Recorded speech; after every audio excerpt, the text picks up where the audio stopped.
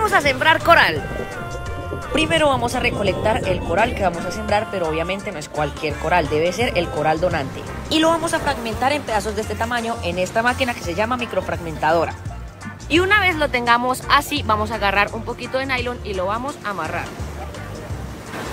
y nos fuimos al agua. Ahí vamos a dejar los corales en estas redes de acá, que es donde van a estar durante seis meses para crecer el doble de su tamaño y ya después trasplantarlo a otro lugar donde va a estar toda su vida.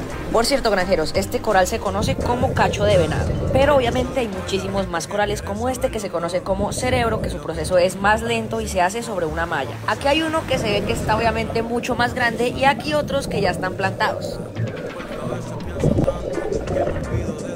Chao, granjeros.